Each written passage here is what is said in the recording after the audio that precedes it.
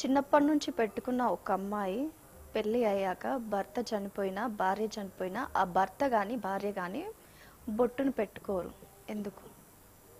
అంటే భర్తకి ఇది లేదమ్మా పురుషుడికి అవేంటివి లేవు. స్త్రీకి మటుకు బొట్టు తీయటం అన్నది సాంప్రదాయంగా వస్తుంది. ఇప్పుడు ఎవరు కూడా తీయట్లేదు అనుకోండి అది వేరే సంగతి. అసలు ఇలాగ సాంప్రదాయం పెట్టడానికి కారణం ఏంటి? మన ముఖము ఎంతో చక్కగా గుండ్రంగా అందంగా ఉండేటటువంటి ముఖంలో బొట్టు లేకపోతే ఎంత అసహ్యంగా ఉంటుందమ్మా? మన ముఖం మనమే అద్దంలో చూసుకోలేం. అంటే ఇప్పటి అమ్మాయిలకు అది అసలు చాలా హాయిగా ఉంటుంది. ఎందుకంటే వాళ్ళకి మొదటి నుంచి బొట్టు పెట్టుకోవట్లేదు కాబట్టి ఏ చీకు చింత లేదు.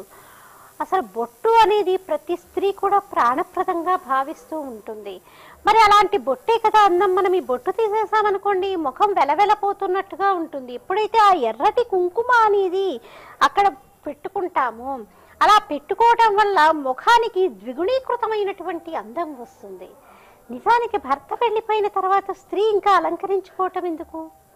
ఆ అందాన్ని చూసి పరపురుషుడు వ్యామోహపడతాడేమో. లేకపోతే ఈవిడ అలంకరించుకోవటం వల్ల ఈవిడ మనసులోనే ఏవైనా మధురమైనటువంటి స్మృతులు వస్తాయేమో? అలా మధురమైనటువంటి స్మృతులు రావటం వల్ల ఏదైనా తప్పు ఏమైనా చేస్తుందేమో? అన్నటువంటి ఉద్దేశంతో స్త్రీకి ఇక అలంకరణ పనికిరాదు. స్త్రీ ఏ స్త్రీ అయినా ఎందుకమ్మా అలంకరించుకునేది? భర్త కోసమే అలంకరించుకుంటుంది. మన అలంకరణ చూసి ఆనందించాల్సింది ఎవరు? భర్తే. కానీ ఇప్పుడు మనం ఏం చేస్తుంటామంటే ఇంట్లో ఉన్నంతసేపు మొదటి స్టెప్ నైటీ వేసుకొని ఉంటాం. పొద్దున్న నుంచి రా ఎంతసేపు భర్త ఇంట్లో ఉంటాడో అంతసేపు మనం నైటీతోటే ఉంటాం. మనం అంటే నాకు అలవాట్లేదు అనుకోండి నైటీతోటే ఉంటారు. బొట్టు ఉండదు మొహాన. ఎప్పుడు కూడా జిడ్డుగారుతున్నటువంటి మొహాలతో ఉంటాం. కానీ మనం అందంగా కనిపించాల్సింది ముఖ్యంగా భర్తకే. బయటికి వచ్చేటప్పుడేమో విపరీతమైనటువంటి అలంకరణ చేసుకొని వస్తాము. అది కాదు పద్ధతి. ఎక్కడ ఉన్నా కూడా అలంకరణ అనేది అలాగే ఉండాలి.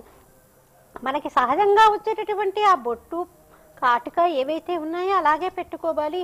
ముఖ్యంగా వాళ్ళల్లో చెడు ఆలోచనలు రాకుండా ఉండాలి అని పరపురుషుడికి ఈ స్త్రీ మీద వ్యామోహం కలగకుండా ఉండాలి అని మనకి పెద్దలు ఈ యొక్క వ్యవస్థని ఏర్పాటు చేశారమ్మా.